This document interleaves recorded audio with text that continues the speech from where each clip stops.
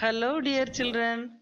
Hope you are all safe at home and focused on your path to the preparation for the public examination. May God bless your efforts and give you all the strength and the willpower to strive through this year. Let's learn Unit 2 Prose The Night the Ghost Got In, written by James Grover Thurber. This author was an American cartoonist, journalist, and humorist. He was best known for his cartoons and short stories published mainly in the New Yorker magazine, such as The Catbird Seat, and collected in his numerous books. He was one of the most popular humorists of his time as he celebrated the comic frustrations and eccentricities of ordinary people. Now I will read out the content of the lesson. Please pay attention to what I read. The Night the Ghost Got In is a short story written by James Grover Thurber. It is a fictionalized account of a night in his childhood. On that night, the narrator was taking a bath. He heard some footsteps. It was around one o'clock in the morning. He thought it might be his father or his brother Roy. They were expected back home at any time. He looked out and found no one. He walked out into the hallway. He heard the footsteps again. He woke up his brother Herman. They didn't see anyone. They didn't hear anything. They thought it might be a ghost. The narrator and his brother went into the room and slammed the door. Their mother was awakened. She believed there were burglars. She threw a shoe at the house of the Bodwell to alert them. The Bodwells called the police. The police arrived with a few reporters in no time. They found the door locked from inside. No one came to open the door. The police broke open the door. They set about searching the house. They found nothing suspicious. The police heard a slight noise from the attic. The policeman sprang into action. The narrator tried to stop them. Grandfather had been in a disturbed state of mind. He imagined the civil war was going on. He thought the policemen were deserters from General Meade's army. He shot a policeman in his shoulder. They retreated. The next morning, the grandfather came down for breakfast. He was looking cheerful. Nothing was said about the commotion of the night before. Grandfather told them that he was thirsty and was looking for water in the kitchen the previous night. The narrator realized it was not ghost but his own grandfather who was the cause of the commotion.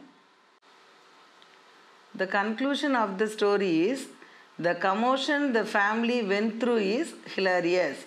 It is a fun tale and a fun read. Moral of the story is misconception leads to confusion.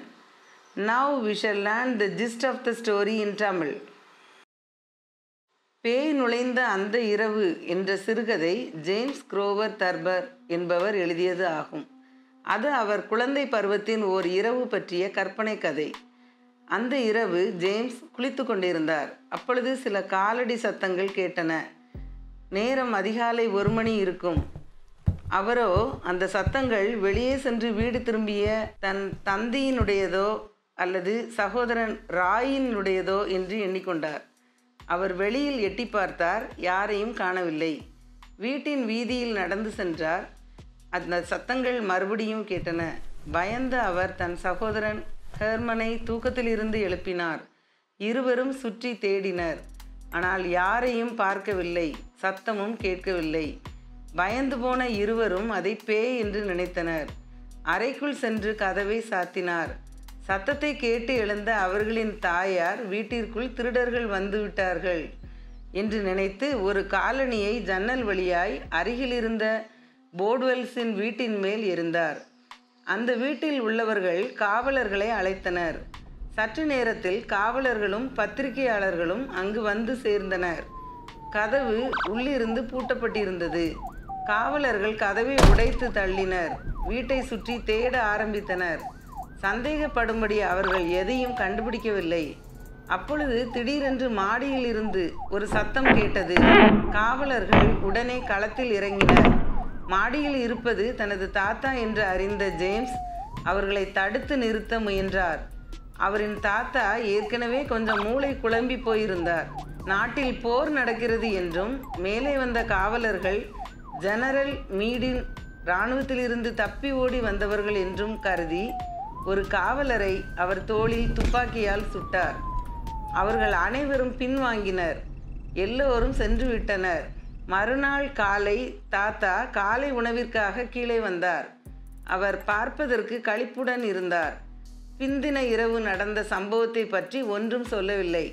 பின்னர் நான் நேற்று இரவு தாகமாய் இருந்தேன் ஆதலால் தண்ணீர் குடிப்பதற்கு சமையல் அறைக்குள் வந்தேன் என்றார். அப்பொழுதுதான் ஜேம்ஸுக்கு புரிந்தது. அது பேயல்ல தன் தாத்தா தான் எல்லா குழப்பத்திற்கும் காரணம் என்பது. இந்த கதையின் முடிவுரை என்னவென்றால் அந்த குடும்பத்தில் ஏற்பட்ட குழப்பம் பெருங்கழிப்புடையது இது ஒரு வேடிக்கையான கதை. நல்லதொரு வேடிக்கையான வாசிப்பு. இக்கதையின் கருத்து என்னவென்றால் தவறான கருத்துக்கள் குழப்பங்களுக்கு வழிவகுக்கிறது. Let's learn the meaning of the new words from the lesson now. Hullabaloo. Lot of loud noise made by people who are excited. Patrolman. A patrolling police officer. Attic. A space or room inside or partly inside the roof of a building. Slamming shutting a door or window forcefully and loudly, gruffly, sadly, intuitively, without conscious reasoning, instinctively. Wham! Struck something forcefully. Beveled, reduced to a sloping edge. Rending, tearing to pieces. Yanked, pulled with a jerk. Zither, a musical instrument consisting of a flat wooden sound box with numerous strings stretched across it, placed horizontally and played with fingers. Guinea pig, a domesticated tailless South American rodent originally raised for food. Hysterical, affected by wildly uncontrolled emotion. Creaking, making a squeaking sound when being moved. Indignant, feeling or showing anger. Holster, a holder made of leather for carrying handgun. Rafter, a beam forming part of the internal framework of a roof. Deserter, a person who leaves the armed force without permission. Thank you, students. We will meet again in the next class. Stay home, stay safe, children.